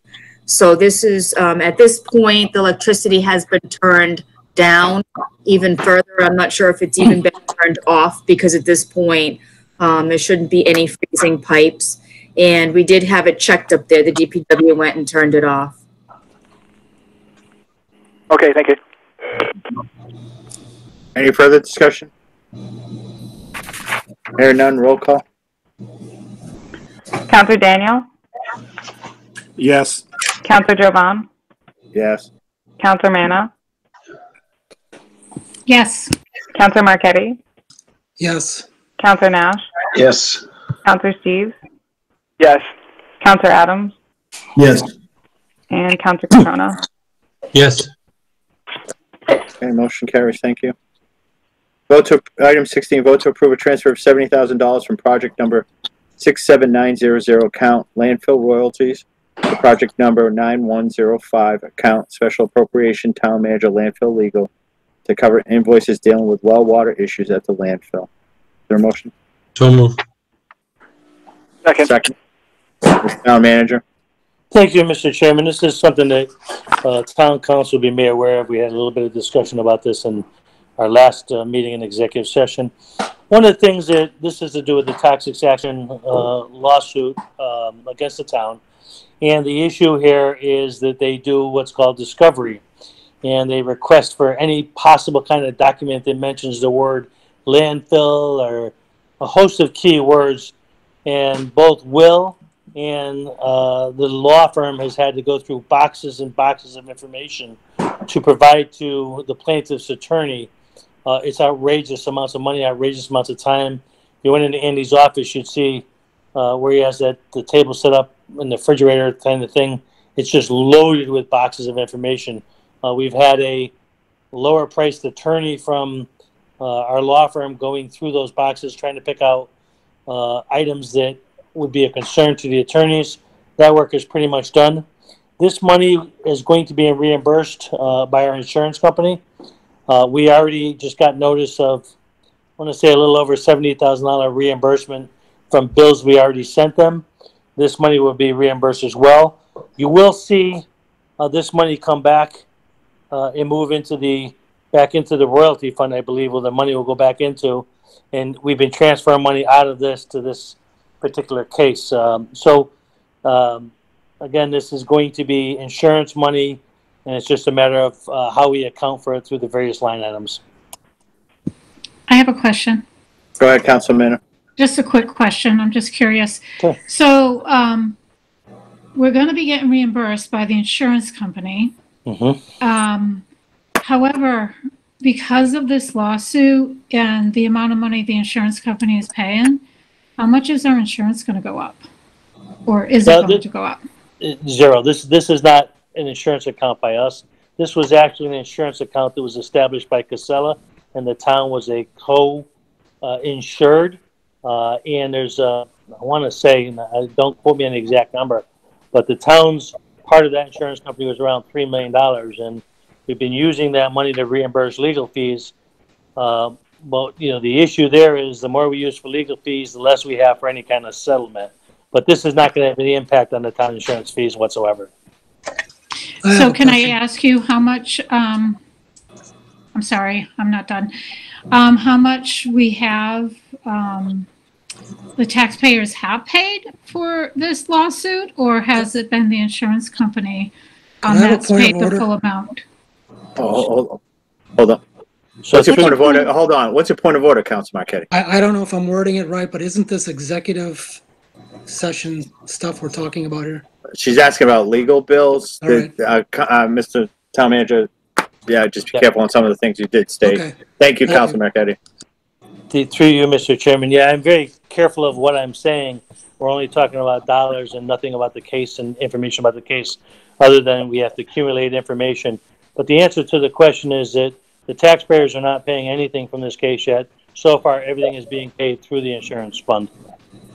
Okay, thank you. I think it's very important for the um, taxpayers to know that. Thank you. Thank you, Council. Any other questions? Yeah, one quick one, Jack. Go ahead, Council Steves. Okay, um, and that is, do you have a rough time frame um, for the reimbursement process, Ron? I just got a notice from the insurance company that they're cutting us a check for seventy-something thousand dollars. So we're gonna get one reimbursement shortly, and as we send new bills, it's kind of shareholders as they come in, we send them to in a bunch, then they pay, and then we send another bunch, so there's gonna be a check coming in, I would think, in the next couple of weeks for a little over seventy grand. Okay, thank you. Are you all set, Council Steves? I was actually more curious if we're pay, if we're sending them um, we're sending them a request for money now. Um, how long will it take for them to pay this current request? I know I, do- I know you said that we're getting one for seventy grand in the near future. So the timing depends upon when we send them the bills. They've actually responded from our, like when we send them a group of bills, I usually get feedback from them within a couple of weeks. And then uh, a check comes not that far after. So they're pretty good at reimbursing us. What, what they're doing is making sure the legal bills that we submit to them are in fact used for this particular case. They don't want to pay from something else. That's the, that's really the validation they're doing. Council Steves, we'll see if we can get a better timeline, um, at a next meeting as an update and try to see through Mary when it was submitted and when it came in. So, okay? Okay, thanks. Any further discussion? Seeing none, roll call? Counselor Jovan, Yes. Counselor Manna, Yes. Counselor Marquetti, Yes. Counselor Nash, Yes. Counselor Steves, Yes. Counselor Adams, Yes. Counselor Catrona, Yes. and Counselor Daniel. Yes. Okay, motion carries. Thank you. Item 18, vote to approve the MIIA Health and Dental Insurance Renewal for Blue Cross Blue Shield plans effective July 1st, 2020 through June 30th, 2021. Is there a motion? So move. Second. Town manager? Yeah, so this is just a renewal, our annual renewal. Uh, Melissa's on the phone, so she can give you a little bit more detail. Uh, it's pretty a standard every year kind of thing. So uh, this is, um, this is actually a negotiated increase from the prior treasurer, Mindy. Um, She negotiated two years ago to have a um, zero increase for fiscal 20 and no more than the average increase of MIIA's um, group increase. So that was the 3.7. So we are this is the max of that that they can charge us that is our person our experience with the town of Southbridge is actually slightly higher than this so we are we are, we won uh, on that on that um, contract um, we are not changing the plan in any way so this is just um, an increase of rates of 3.7 percent Any questions? Mr. Chairman, I do Go. All right, I'll go to town manager and then to you, Councilor Steves. You may remember last year when we were talking, a group of towns had formed together to look at possibly setting up somebody to compete with MIIA. And we were having those meetings and then I think partially what happened is as a result of the MIIA knowing that a number of towns were considering leaving MIIA, they actually uh, cut their rates from what they would have proposed. So I think this was a good thing from us considering other potential insurance companies. Uh, I think MIIA got, kind of got the message. There's some frustration of area communities, and it's something if the rates go up in the next future years, something we we may have to look at again.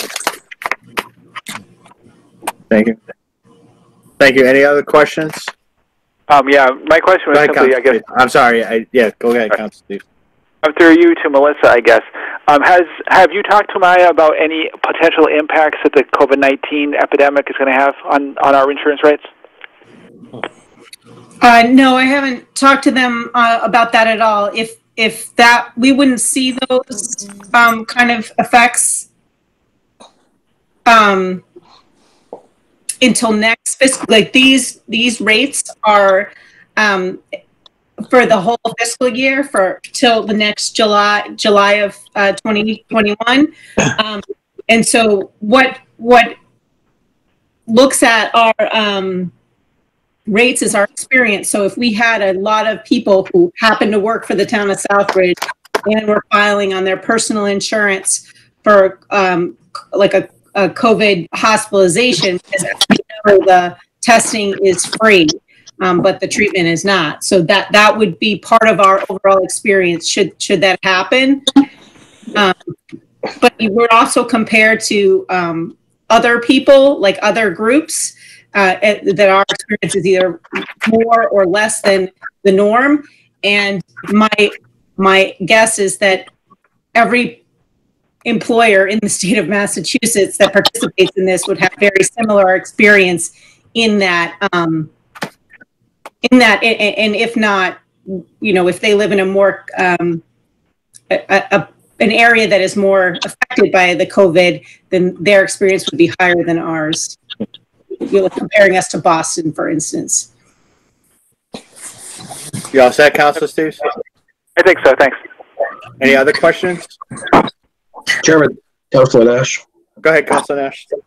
Thank you through you uh, to Melissa. I think is probably best suited to answer this. Every year I have an issue with this, not with providing quality healthcare uh, options for, for town employees. But Melissa, when you look at this, could you estimate what the overall increase in our costs are due to this 3.7% increase on the, the group health? So just over last year, I believe that the health insurance, I think we actually estimated slightly less than three. I think, I think it's like 3.25 or 3 point, um, 2% that we did of our overall, um, increase in the budget. Um, and that was because we had slightly less enrollment. Um, I, I will say that I have, I did try and shop the plan when I first got here, but because we had um, contracted for this deal, it, it wasn't possible because we had agreed to a two-year term with MIIA. But again, like I said, we, we did well based on the experience that we have as an employer. Um, I also did get an additional plan um, that is um, high deductible plan, so the premium is much lower for the employer and the employee. Um, but at this time, um, because of the way our um, flex plan is set up and not being able to really vet, have the right time to vet that with our employee group, to even offer that as an option right now, I've been advised um, is not a good idea, but I still have it.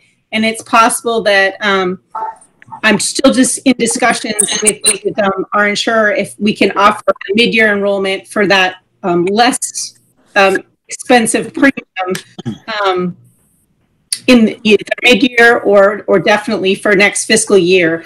Again, not as a requirement, um, employees can choose when they want, but as an option, you know, for me, if I want to choose to, to pay less a month and, and have a high deductible, then that would be my, my choice. All set, Counselor Nash? I, no, the, the question I was asking is what does this translate to as an estimate in real dollars cost to the town? So I, um, I can look on, um, I, I can have, um, it's on the, it's on the budget, um, estimate in dollars. It's like, is it 600,000, Ron? I don't remember. I can look it up. Yeah, I don't, I'm not sure. Um, Mis- Mr. Chair, if I could, um, Go ahead. The the group health and life insurance is going up hundred and seventeen thousand eight seventy-two, which is a two point eight five percent increase. Counselor Nash? Go ahead. I can see that on the budget, yet our, our rates are going up, or the, the rates are going up more than three percent. I just wanted to ensure that those numbers that are presented on the budget are more than adequate to cover, and I, and I'm assuming that they are, Karen. If you say that 117,000, we're showing a 2.85% increase. Of course, I, I understand that that line item also accounts for life insurance costs. So it's 117, I assume that the life insurance hasn't gone up at all. So the life insurance hasn't gone up in a number of years, um, but also, like I said, our enrollment, like the number of people participating, has gone down slightly, which is why, you know, we don't, we didn't have to go up 3.7% on this, or at least I hope I'm right on that. But when I looked at the enrollment for last year, we were down slightly. Fair enough. Thank you. You all set, Council? Okay, thank I you. have a question. Council Manna, go ahead. If, if Counselor Nash is done. Were you done, Council Nash? I'm sorry. Okay, thank you. Council Manna? So, thank you, Mr. Chair, through you to Melissa. Does this include the um, retirees? So the, overall cost does include the retirees. The increase um, for the retirees has been nominal as of late, and so I believe we put in like a one or one and a half percent estimating the same number of um, retiree enrollment. Um, but that rate is not set in September, so we sort of guess. Okay, thank you. I'm just hearing helicopter. I don't know if a lot of people have their mics on, but you might want to mute them because it's like hard to hear sometimes. Thank you. Okay. Thank Any other questions for Melissa? All right, seeing none, roll call. Counselor Manna, Yes. Counselor Marquetti, Yes. Counselor Nash, Yes. Counselor Steves, Counselor Steves, yes. Counselor Adams, Yes. Counselor Catrona, Yes. Counselor Daniel, Yes. and Counselor Jovan. Yes. Okay, motion carries. All right, thank you. Um, I had on here old business, just, uh, the status of section six two zero zero, keeping the pets bylaw. We're scheduled to have a second reading, given the fact that we're not having any public participation on this, or this is not live fed. I am gonna hold on the second reading on this until we have such time that we have the ability for any public to participate or have questions or I have a live stream. Uh, okay, but I just want to put it on. Anybody have any questions on that? Okay, thank you. Council's forum, I'm going to do my best. Council Steves, I'll go with you first since you said your phone may die. So go ahead, Council I don't, Steves. I don't have anything anyway, thank you. Thank you. Council Adams? Thank you, Mr. Chair, through you, just to the town manager. Uh, the remote policy, um, are we gonna try to get that done here in the next couple days so, uh, all the, uh, small committees, boards and all that kind of stuff can go off of one policy or, or are we gonna do, uh, free for all with like Hangout, Zoom and all that kind of stuff? So a couple of questions. Actually, Councilor Nash was asking about that today. So right now, we're all using uh, GoToMeeting is what all the, the town boards and commissions are using, except you guys. You guys are still using the education account. The, all the small commission meetings, assuming we have them, we'll use GoToMeeting and Will will work with those commissions if, if we have the meeting, which as of right now, we're not having any. Andy is, um, Eric is doing the ones for the land use boards. So again, it's GoToMeeting. He's got that all set up. Andy has it set up for the Board of Health meetings. Uh, me and Jack were discussing today. Uh, I want to set one up for me. Frankly, I can't even meet with my department heads in the same room. So I'm setting up a GoToMeeting account. What me and Jack, the chairman, are going to have to talk about uh, is what we're going to do for GoToMeeting account for all the council subcommittee meetings, if that's what we're going to do. So I think the question, and I said to the council chairman that I could give the council my account to use for regular council meetings. Uh, but we're gonna increase the numbers dramatically of meetings if we do it, if we have the individual subcommittees meet. The cost of a GoToMeeting account is about hundred and fifty dollars a year, so it's not a tremendous amount of money. Uh, so I, you know, that's the discussion I'm gonna have with the chairman probably tomorrow. Thank you, Mr. Chair, that's. I have. Now, I'm sorry, one other, one other question, Counselor Adams. Again, Counselor Nash was talking to me about it. As you recall, we budgeted in this budget, uh, the money for, uh, um, remote participation for next year. And, you know, a few weeks ago, I'm, I'm not sure that that would have passed, but obviously things have changed dramatically. So, you know, I, think they actually gave Counselor Nash the information of the cost today. If the counselor, if the town councilors wanted to, you know, have us start that process right away, we could, but effectively, we're doing it with all the meetings we've already structured. But if we wanted to start early, we could simply use reserve or some other source of funds to start it a little quicker.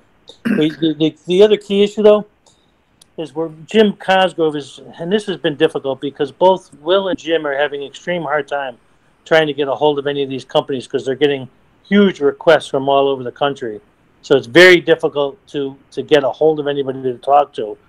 One of the things Jim is working on is that if we have these remote meetings, how do we get the sound from these meetings into the cable system so the public can hear them? Jim has got a couple of estimates, but again, we talked to Jim and he couldn't get a hold of the vendor again. So, you know, it, it's it's a tough battle, but we're working on it. Thank you, Mr. Chair. Uh, thank you, Council Adams. Uh, just as a, an aside to that, um, I had communicated back on March 15th the need to get something up on the town, and it's been very frustrating over the last two weeks to try to get some kind of sense of direction. Um, I'm only using this school site because the school was gracious enough to allow us to use it for the Emergency Operations Center, and not having something in place on the town side made it very difficult to be able to get this going. Um, I'm looking for a policy from the town manager to say, hey, this is the goal meeting count. This is how you live stream it. This is the policy every board will use. I don't understand why it's so complicated. I'll work with the town manager on this. There are other towns out there using Zoom and having public participation. I don't know why it's taken us three weeks to get this done. So this is going to be a priority this week to get this done. It's just ridiculous that we can't get it done. That's just going to be my comment on that because it's been very frustrating. Um, I'll go next to um, Council Catrona. Thank you, Mr. Chairman. All I want to just say is thank you, um, Counselor Adams, and, and everyone, please stay safe. Thank you. Thank you. Going down the, uh, I'm just going by the list on the side here. Council Marquetti, Okay, uh, first of all, um, I think you can go live with these meetings. Uh, you, you just have to go on YouTube. I think, Jack, you have to do it, I think. I'm not absolutely sure. I was reading about it today. I think you just go on YouTube and you go to Go Live and, um, and you can stream these meetings through YouTube. Um, I think that's how it goes. I, I can send you a link to a video that shows you how to do it. Uh, second of all, um, I did receive an email from the town manager concerning keeping town employees working, um, even if they don't have any uh, duties to perform, or you're just keeping them, trying to keep them going. And I just want to say that I support you on that, and I, I, want to thank you very much. You know, uh, the question right now isn't whether we need employees; it's what are they going to do for an income. And I'm sure a lot of employees are kind of worried about that. So I, I would just want to give you. Uh, kudos for for uh, keeping employees working at this uh, difficult time. Uh, hopefully, the feds will reimburse us on this.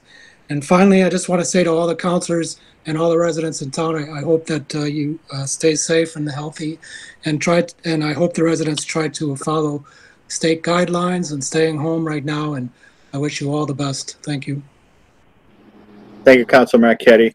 And again, we'll take a look at that if you have that information. I do know uh, the question is going to be is how do we publish um, the meeting? So if we have anybody that wanted to call in or watch, how do you do that to have the true public participation if we're going to have that? And given the fact that uh, we're going to be doing this at least for the next five weeks, if not longer, we need to have a strong procedure and policy in place. And that's my point. But if you could se- send any information, I would appreciate it. Thank you.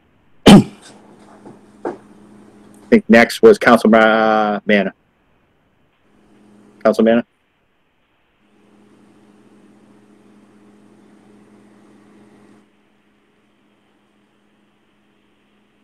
Council Manna, you still there? Okay, can you hear me? Yeah, go ahead. Oh, I thought I had it off mute. I'm sorry. Yeah.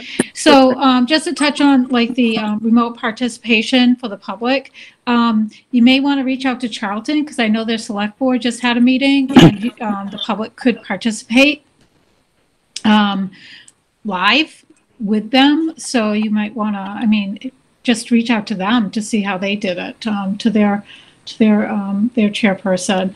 Um, I want to thank the police department, the fire department for, um, for doing all that they do.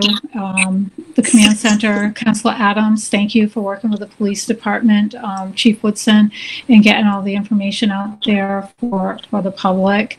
Um, I hope this is on YouTube too, because, um, there's some people that don't have Facebook. I know you got, had five thousand views the other day. But I'd like to see it on, you know, YouTube and possibly go on to, um, um, public access as well. Um, thank you very much, so for all you're doing. Um, and I just want to say that April 1st is coming up, and that's a really, really significant day for people like me who live on alternate side parking. It is. So, and I'm going to leave it at that. Thank you. Everyone stay safe. Thank you. Councilman, just to your point on the, uh, cable access did also videotape that. Councilor Adams got them, uh, there and the chief, uh, cable access. And I know I just saw them publish the, uh, YouTube over to the Facebook site. So I'm sure that if we get that message out, that the video is available on the, uh, YouTube as well. Um, and I'm sure they will publish that on the cable access, but I do know, I just saw that pop up on Facebook. So I know they did do it. So thank you all to the cable company, especially last Friday night when they came and videotaped uh, when we had our special town meeting, uh, uh, town, not town meeting, but town council meeting. Um, and they're really being a good partner to try to help us get as much information out as well. So thank you all for that. Um, and it really is important. Uh, everybody's doing a great job trying to funnel information through the EOC, make sure it's accurate, and up to date. Um, Councilor Nash? Thank you, Chairman. Um, appreciate the banter conversation about remote participation. I'm not going to beat a dead horse, but a lot of us have a lot of time right now. To be perfectly acceptable to me to participate if I can, to look at the town manager's policy that he said on March 4th. And uh, if anybody wants to attack that and bring it to council, I'm all in favor of it. I'll leave that alone. Thank the town manager for bringing up too during his budget presentation, the fact that revenues are going to be a concern. Uh, that's wise to make sure that we're vigilant. And, uh, I realize that presents challenges for Karen and Melissa and uh, some employees, but it presents challenges for us. We're all aware of what some of the unemployment uh, circumstances may present for taxes and revenues and other circumstances in our community. So I hope we all keep that in mind when it comes time to presenting this budget once again formally to the public, but also in the decisions that we make. Other than that, I'm good for the night. I appreciate everybody's uh, good work on behalf of the community at the EOC. Thank you. Thank you, Councilor Nash. Uh, did I miss any of councilors outside of Councilor Daniel? Okay. Uh, Councilor Daniel? Thank you, Mr. Chair. Um, I'd just like to take a minute to thank the Unified Command Staff as well as all the members of the EOC for the uh, fine work that they've been doing. Um, it's definitely reassuring to people in the community to know that there's one central place for all the information and uh, it's uh, quite a service that you're providing for the community. I'd also like to thank our regular town employees who in a very trying time, very questionable time, when you're not sure which end is up sometimes, you're uh, still coming in or working from home if need be, doing the job and doing it well because town government doesn't stop. Town services don't stop. They, they still continue. And the fact that they are continuing and doing well speaks well for the people that we have working for us. And that's all I have. The next regularly scheduled meeting of the town council is for Monday, April 13th, 2020 at 7 PM. Thank you, Councilor Daniel, and thank you for your kind words and exa- yeah, especially as it is a trying time for all town employees and everybody involved. Um, we look forward to working with, together to get us through this. Um, I will be out looking to schedule a meeting, uh, later on, uh, well, I'll get back to you all in regards to that about the budget and how we're gonna move forward. If anybody has any questions or concerns, feel free to contact me, uh, directly. And thank you all for being here for this first, uh, really council meeting of, uh, remote, uh, type of meeting. Uh, I think, uh, we'll see how, when I shut off the recording and it gets uploaded to our site, how this came off. But we'll see about getting this over to, uh, the cable access and have them, uh, upload it to cable access if possible. Chief Nolan, Jack, I have a, I have a question. yes, sir. Not, not a question, actually, it's a comment. Uh, this is Chief Normandin, just to let you all- know, obviously Chief Woodson had uh, a staff, uh, with a potential exposure to the coronavirus, uh, which he recently just got cleared. This is real, folks. Uh, I was just notified within the last 45 minutes, one of my firefighter EMTs, uh, had an elevated temp. Um, we will do our process throughout the fire department. He was sent home for the evening at this point. Um, unsure if it was corona or not. Uh, he will be set up with either his PCP first thing in the morning to get the appropriate test and or uh, moving forward to Shrewsbury CVS to get that uh, that uh, that test done. Um, I just really want to press the fact that uh, we all need to stay safe. Uh, use any forms of wipes that you have if you do go out in the public. Um, it's it's it's hit Southbridge. It's hit our own people, so we need to stay safe. Thank you, Chief. And yes, and definitely, um, everybody out there, heed the words, uh, stay home. Uh, just do minimal travel to get your necessities of life. And if we all work together as a community, we will get through this, uh, safely. And best of luck to all, uh, your employee chief. And, uh, we look forward to, uh, good news on that. With that, I'll entertain a motion to adjourn. Jack, before we do, Jack, just one, Yes, one go question, Joe. Just, um, is it possible in, in future meetings, just, um, maybe John can give us a quick, uh, update on the town manager search committee meetings? Yeah, yeah, we'll put that, uh, forward as, uh, uh, committee reports as well. Thank you. When we go forward. Thank you. Any further discussion? Okay, uh, entertain a motion to adjourn. So move. Second. Second. Roll call. Counselor Adams, Yes. Counselor Catrona, Yes. Counselor Daniel, Yes. Counselor Jovan, Yes. Counselor Manna, Yes. Counselor Marquetti, Yes. Counselor Nash, Yes. Counselor Steves. Yes. Okay. Thank you all and have a safe evening. Uh, we'll be chatting with you. Thank you. Thank you. All right.